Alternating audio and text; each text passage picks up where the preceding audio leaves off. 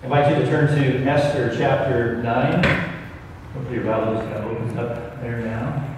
It's our fifth week in Esther and our last week in Esther for now. 387. I got it right.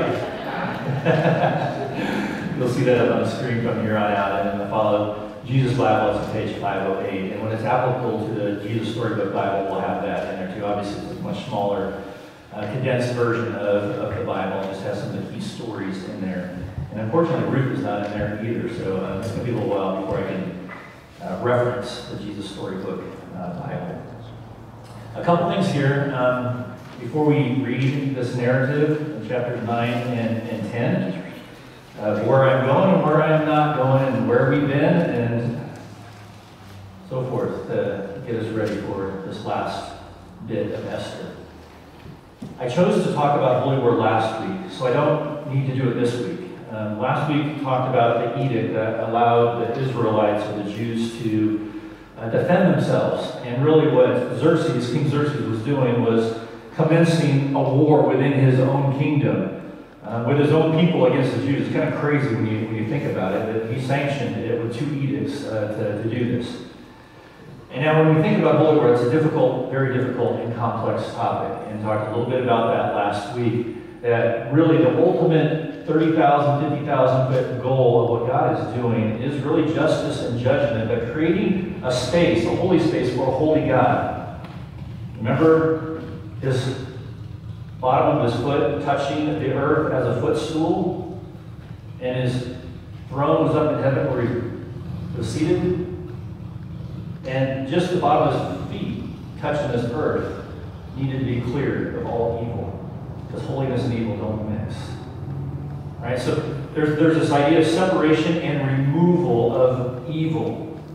And that's what redemption is really all about, individually and collectively. And we're going to see that this morning in its largest and biggest picture in the story of theme throughout Scripture. So at the bottom, you see the triumph of holiness and Hesed, God's love over evil. That's what we really see in this warfare.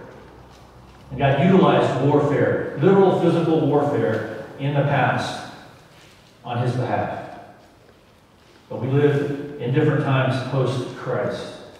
Where there's place for war for the government, that's not the posture we take as Christians, least physical violence toward one another. There's spiritual warfare that we engage in, but it's crystal clear that that's not against flesh and blood. So this gets a little tricky, some of the language and the complexity with it. And again, if anybody wants to talk further about this, I'm more than happy to navigate that with them and all its complexities. All right, so there's one thing. And I'm not going to spend uh, much time on this Feast of Purim. All right, it, it's, it's not directly relevant for us today. It's part of our history. The Jewish history is part of our history as well. We're going to see the text, and many think that Esther was actually included and written to legitimize the Feast of Esther. And you'll hear that language. It's like, why do you keep saying this? Um, I'm just trying to prove that, that this feast is rooted in history and, and needs, to, needs to be followed. It's a story and a feast of deliverance. All right, we've already read this and hinted toward it. That the Jewish people are able now to defend themselves and they're going to be delivered from the first edict of Haman of overthrowing the Jews. So keep that in mind. Purim is about deliverance. Right, because that's where we're going to be going with this. Divine destiny is about deliverance. Okay? So, chapter 9 is going to be a hard chapter. It's going to talk about warfare, and it's going to move into the celebration of the victory there and the um, commencement of the holy uh, feast of Purim. All right, so we do this like we did in the past. I'm going to read through this. And again, either kick back and close your eyes and listen to the story unfold, or your visual person will be up on the screen or follow along in a couple Bibles that you have in front of you now to follow along. Then I'll pray about that a little bit more. So now in the 12th month, which is the month of Adar, on the 13th day of the same, when the king's command and edict were about to be carried out, on the very day when the enemies of the Jews hoped to gain the mastery over them, the reverse occurred. The Jews gained mastery over those who hated them. The Jews gathered in their cities throughout all the provinces of King Xerxes to lay hands on those who sought their harm. And no one could stand against them, for the fear of them had fallen on all peoples. All the officials of the provinces and the satraps and the governors and the royal agents also helped the Jews, for the fear of Mordecai had fallen on them. For Mordecai was great in the king's house, and his fame spread throughout all the provinces. For the man Mordecai grew more and more powerful. The Jews struck all their enemies with a sword, killing and destroying them, and did as they pleased to those who hated them. In Susa, the citadel itself, the Jews killed and destroyed 500 men, and also killed Parshandatha, and Dalphon, and Aspatha, and Poratha, and Adalia, and Aridatha, and Parmasha, and Arisai, and Aridai, and Isatha, the ten sons of Haman, the son of Hammedatha, the enemy of the Jews. But they laid no hand on the plunder. This very day, the number of those killed, or that very day, the number of those killed in Susa, the citadel, was reported to the king. And the king said to Queen Esther, In Susa, the citadel, the Jews have killed and destroyed 500 men, and also the ten sons of Haman. What then have they done in the rest of the king's provinces? Now, what is your wish? It shall be granted to you. And what further is your request? It shall be fulfilled. And Esther said, If it please the king, let the Jews who are in Susa be allowed tomorrow also to do according to this day's edict and let the ten sons of Haman be hanged on the gallows. So the king commanded this to be done. A decree was issued in Susa, and the ten sons of Haman were hanged. The Jews who were in Susa gathered also on the fourteenth day of the month of Adar, and they killed three hundred men in Susa, but they laid no hands on the plunder. Now the rest of the Jews who were in the king's provinces also gathered to defend their lives and got relief from their enemies and killed 75,000 of those who hated them. But they laid no hands on the plunder. This was on the 13th day of the month of Adar. And on the 14th day they rested and made that a day of feasting and gladness.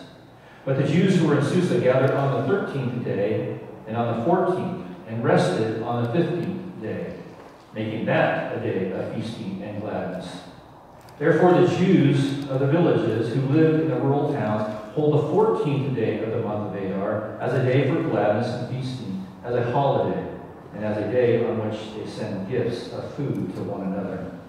And Mordecai recorded these things and sent letters to all the Jews who were in all the provinces of King Xerxes, both near and far, obliging them to keep the 14th day of the month of Adar, and also the 15th day of the same, year by year, as the days on which the Jews got relief from their enemies, and as the month that had been turned for them from sorrow into gladness, and from mourning into a holiday, that they should make them days of feasting and gladness, days for sending gifts of food to one another and gifts to the poor. So the Jews accepted what they had started to do and what Mordecai had written to them. For Haman and Agagite, the son of Hammedatha, the enemy of all the Jews, had plotted against the Jews to destroy them, and had cast Pur, that is, cast lots, to crush and to destroy them. But when, when it came before the king, he gave orders in writing that his evil plan that he had devised against the Jews should return on his own head, and that he and his son should be hanged on the gallows. Therefore they called the, these days Purim, after the term Pur. Therefore, because of all that was written in this letter, and of what they had faced in this matter, and of what had happened to them, the Jews firmly obligated themselves and their offspring, and all who joined them, that without fail they would keep these two days according to what was written, and at that time appointed every year. Now these days should be remembered and kept throughout every generation, in every clan, province, and city, and that these days of Purim should never fall into disuse among the Jews, nor should the commemoration of these days cease among their descendants. Then Queen Esther, the daughter of Abihail, and Mordecai the Jew gave full written authority, confirming the second letter about Purim. Letters were sent to all the Jews, to the 127 provinces of the kingdom of Xerxes, in words of peace and truth, that these days of Purim should be observed at their appointed seasons, as Mordecai the Jew and Queen Esther obligated them, and as they had obligated themselves and their offspring, with regard to their feet, or fast, and their lamenting. The command of Queen Esther confirmed these practices of Purim, and it was recorded in writing. King Xerxes imposed tax on the land and on the coastlands of the sea, and all the acts of his power and might, and a full account of the high honor of Mordecai, to which the king advanced him, are they not written in the book of the chronicles of the kings of Media and Persia? For Mordecai the Jew was second in rank to King Xerxes, and he was great among the Jews, and popular with the multitude of his brothers, for he sought the welfare of his people and spoke peace to all his people. Heavenly Father, as we take a look at this story, this narrative that took place a very long time ago, I pray that the themes and principles within it may inspire and encourage us to follow you more humbly and obediently. In Jesus' name we pray this. Amen. Some of you might recognize who this is. Anybody? As soon as I go to this next one, you're going to have a pretty good idea. He was a painter from the 17th century who painted these irises. He's also painted sunflowers, one of his favorite subjects to paint. He painted Starry Night.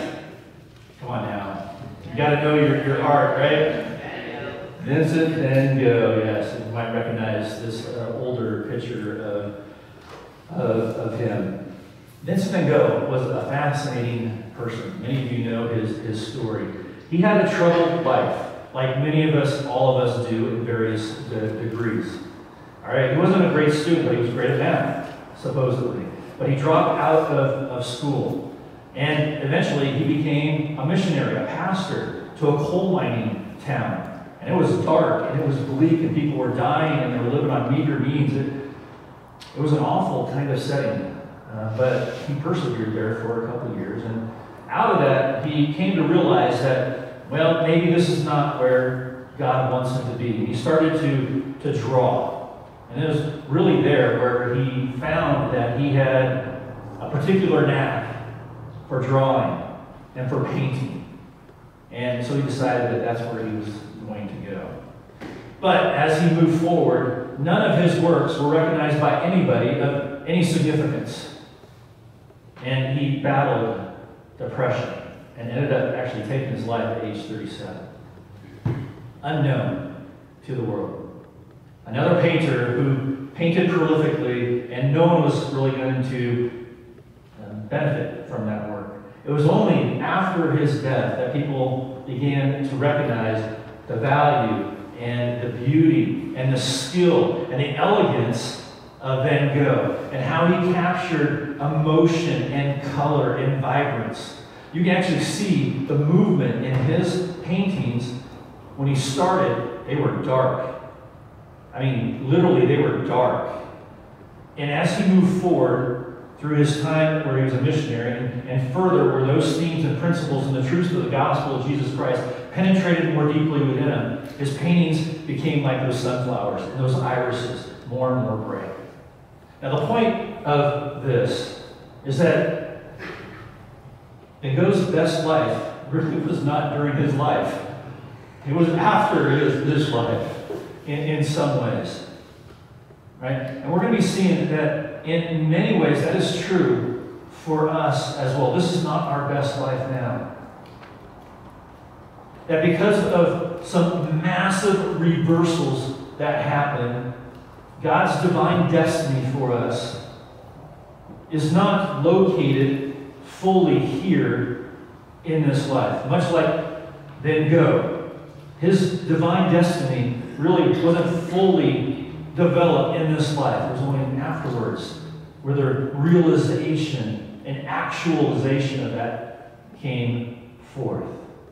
All right, so that in mind, this is where we're going to be going. It's based on this verse. It was right at the beginning, the first verse of chapter 9. All right, we're going to talk about the first edict where the Jews were going to get wiped out, but then the second edict came that they can defend themselves. And the consequence of that is that um, even the governors and the satraps and the leaders, because of the fear of Mordecai, all joined in, and it wasn't even a contest. They overthrew their enemies, the one that had hated them. And so the, the reverse occurred. that's the theme. That's what we're holding on to. The reverse occurred.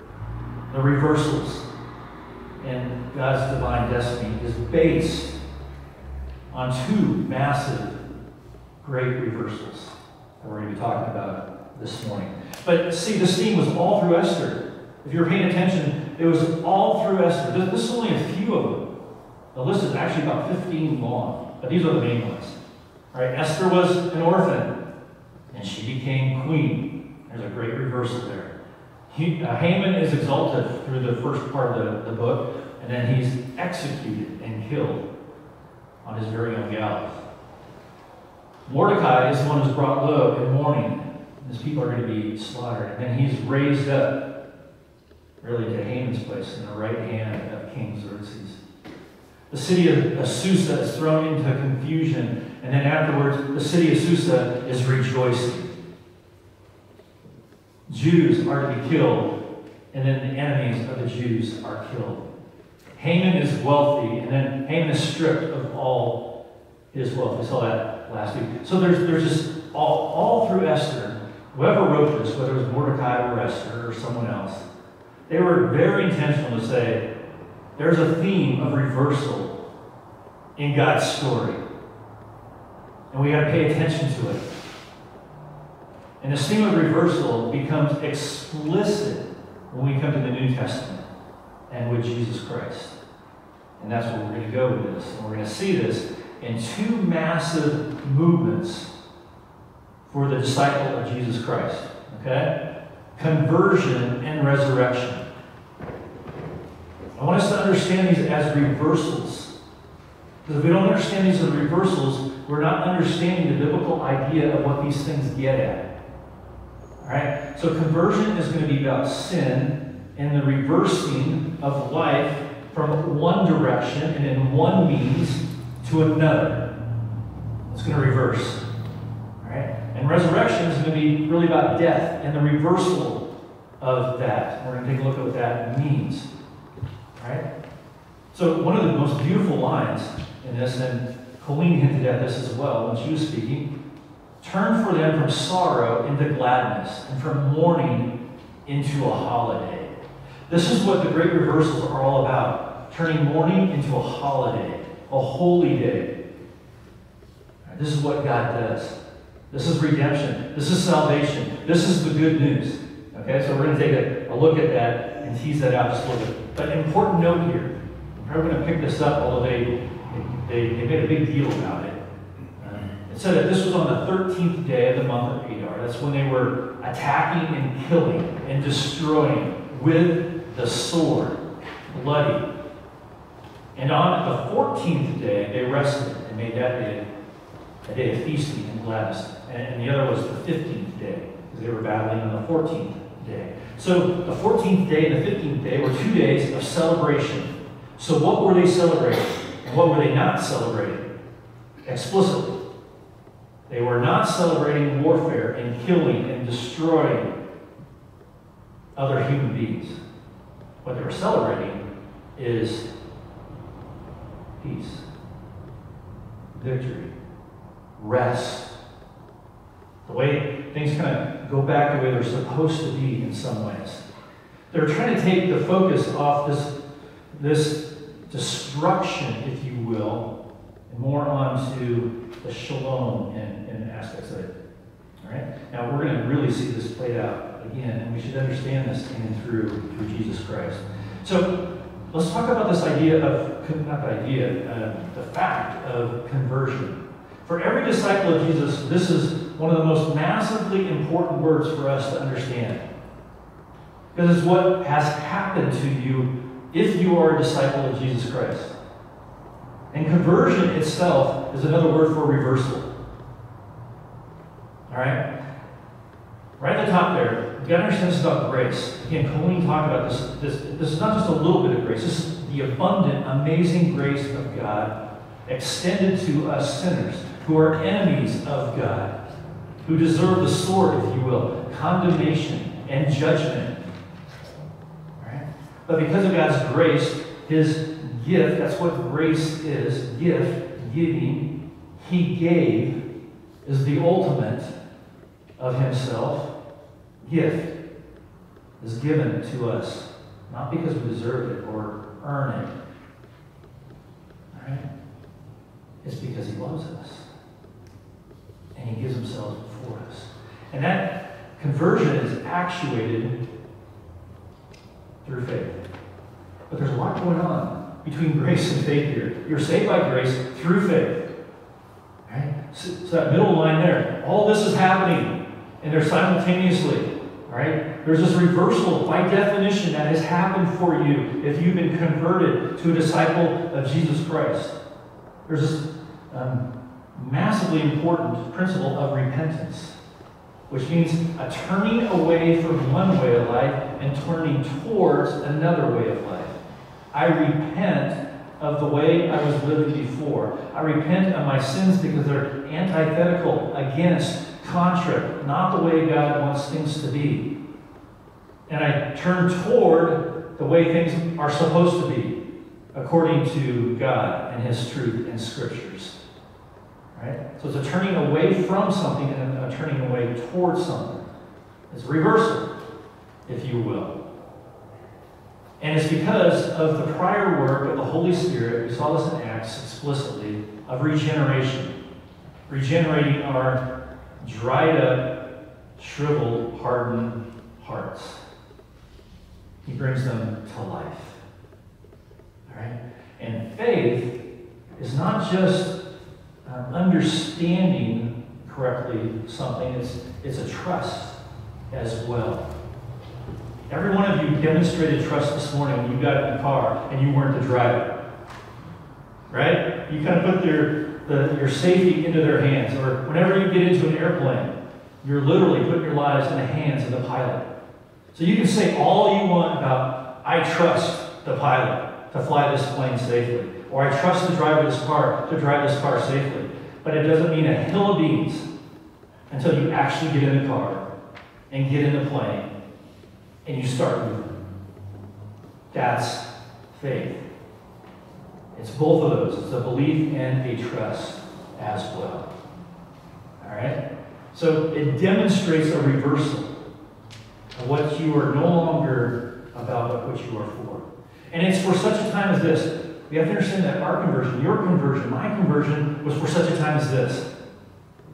We saw this in Acts if you were around for that. Acts 17. So God determined your time to be here at this place, in this juncture in the world, chronologically in time, but in place as well. You are meant to be right here, right now. God designed you for such as this. And so your conversion is for such a time as this. And He's got a purpose for each one of us within our families, with in our work, within our neighborhoods, wherever that might be. All those things for such a time as this. You got purpose. I've got purpose. We've got purpose. God put you here for such a time as this. Just like Esther back then for such a time as this. And we both, we're, we're all to have the same attitude as Esther. I don't. If I perish, I perish. Because I believe this to be true. And even if the world turns on me and I end up dying for it, so be it. Because I believe this to be true. We're going to see this explicitly with the, the resurrection. That sin doesn't have the final say, but neither does death.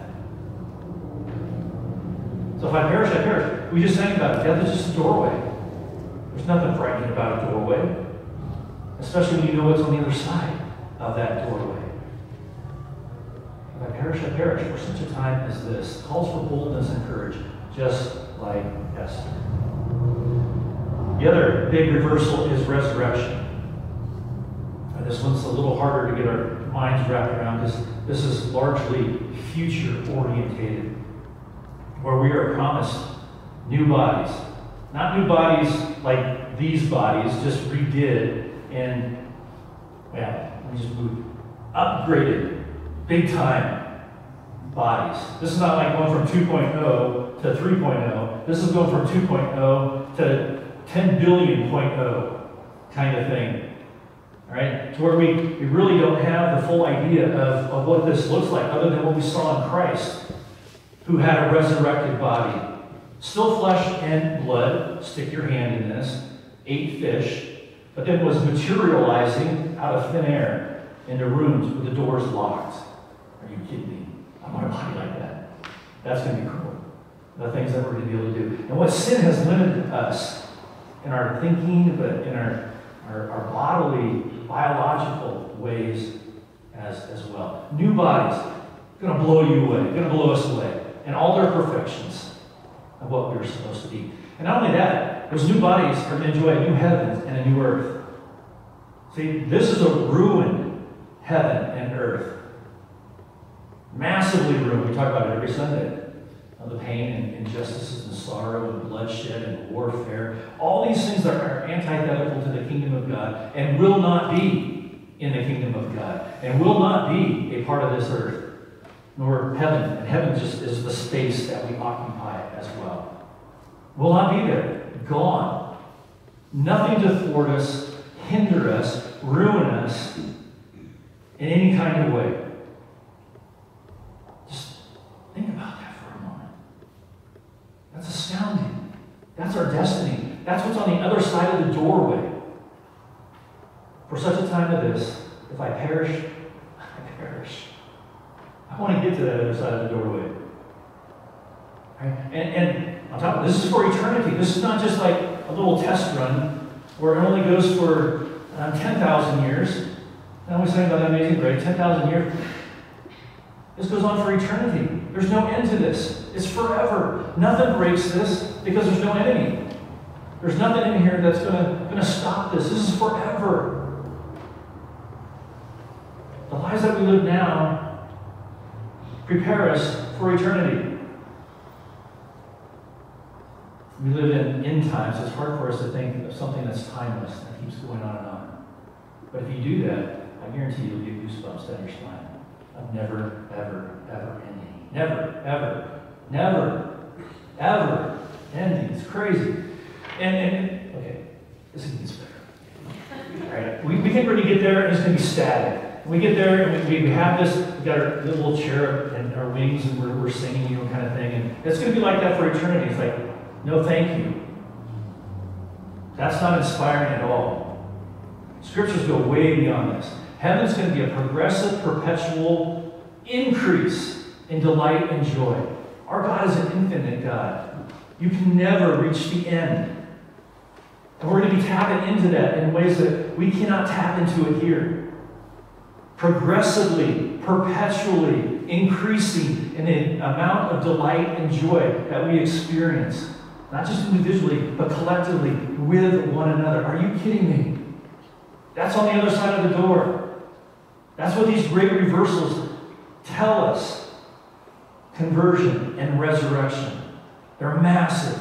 And Esther is pointing at that in her story here. That good wins, beautiful wins, truth wins. Not the Hamans of this world, but the Mordecais and the Esthers of this world who place their faith in the living God. This is our divine destiny, friends, for those who are in Christ. Adopted children by grace into the family. Right? Yes, there is beauty and goodness and truth today. Right? Yet, yet, what lies ahead is immeasurably more. So magnificent, magnificent that it makes our present sorrows shrink to being light and momentary compared to the eternal weight of glory ahead. That's how Paul phrases what I just said. He suffered a lot. To him, it was light and momentary. compared to thinking about what's on the other side of the doorway, that eternal weight of glory. He's not minimizing the pain and sorrow now. He's just put it in perspective. Because if we compare it toward one another, hmm, we compare it to what the future and eternity holds. That's what Paul's doing here as well. This is why we have to understand conversion and resurrection and what's on the other side of the door. The hope that we have is not found in the things of this world, it's found in Jesus Christ and what he has already accomplished and the promises of what he's going to do in the future. Just like Van Gogh. There's beauty. These irises are beauty. And you know what irises stand for? Victory. Truth. Peace. All these things, royalty actually as well. Irises. Then go to life, reversals. May we hold to the truths of what God has done and what He promises to each one of us. May we live for such a time as this. And if I perish, we perish, we perish. Let's pray. Heavenly Father, we thank you for these encouraging words from Esther. We thank you for um, the incredible, massive story of reversal in and through your Son, Jesus Christ, who lived the life that we could not, the perfect life, the righteous life, so that in him we might find our righteousness. And who took our sinfulness, our unrighteousness, and was crucified for it, killed for it, became a ransom for us, paid the price for us, took your wrath for us, and was raised to life after life after death, conquering not just sin, but death as well. Death arrested, and in the future, arrested forever. So, Lord, may this good news change us, transform us, help us take the next steps of faith, that we might be conformed more to the image of your Son, Jesus, in this world. In Jesus' name we pray this. Amen. And of course, we've already laid the foundations for communion this morning, where the work of our conversion happened in and through Jesus Christ. Not just the crucifixion, but his entire life. Again, we, we look at the entirety of who Jesus is, from his birth, the incarnation, all the way through his returning once again. That because of Jesus, we can turn from that old way of life and embrace a new way of life. And because of Jesus, we can hold to the hope that we have on the other side of that doorway. That the experience of wineskins in the smoke is just a temporary, light, momentary kind of thing compared to the eternal weight of glory waiting for us.